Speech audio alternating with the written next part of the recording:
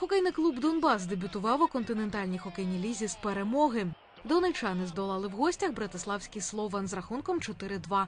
У складі українського клубу по шайбі закинули Євген Белухін, Яні Тупорайнен, Ярослав Обшут та Фредерік Петерсон. У словаків точними китками відзначилися Мілан Кітнар і Мартін Бакош. Для обох команд матч став першим у рамках КХЛ, до якої вони були прийняті в міжсезоння.